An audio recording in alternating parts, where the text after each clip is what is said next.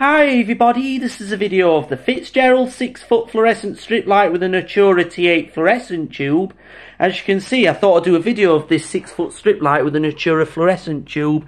And as you can see on it, it says uh, Sylvania made in Germany. And it says professional uh, 70 watt gourmet 175. That's what it says on the edge It's like coloured brown, yeah. And, uh, and now this is the third video of this uh, six foot, um, yeah, six foot fluorescent strip light, the Fitzgerald one at six foot. So, and I thought I'd do a video of it with a Natura T8 fluorescent tube. So, anyway, guys, all I'm going to do now is switch out the big lights now.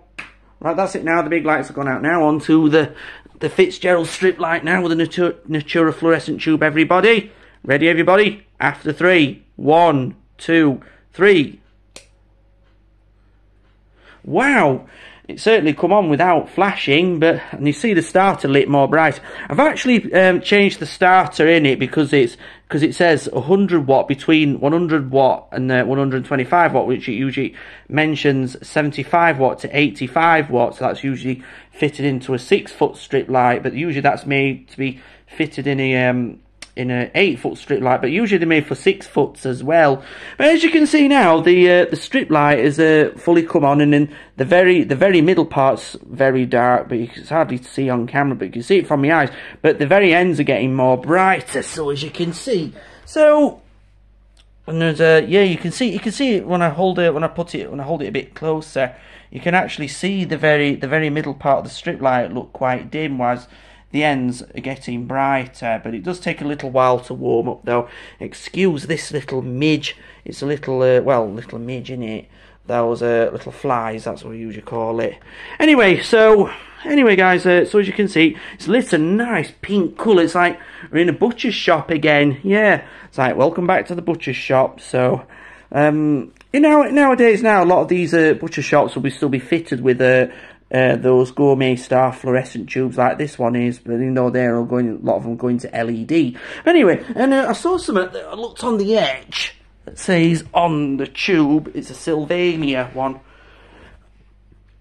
Yeah, so as you can see on it, it says um, Sylvania, www.sylvania-lighting.com. That's all it says. And um, and it's a and it's a beautiful, beautiful fluorescent tube.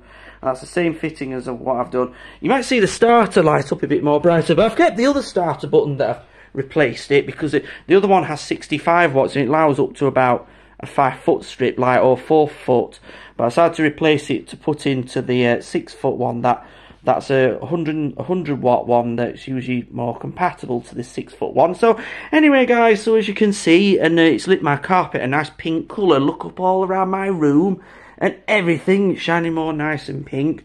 And as you can see, it looks like the, the very middle of that tube is still looking quite dim. It does take a little while to warm up though, guys. So, um, do you know what? I could never get enough of a, a nice old light fitting like this.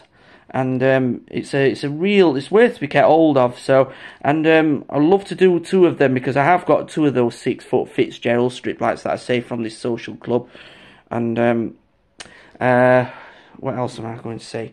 Yes, and with this beautiful light switch and everything, and um, turn on the socket, and uh, that's all my other stuff. So,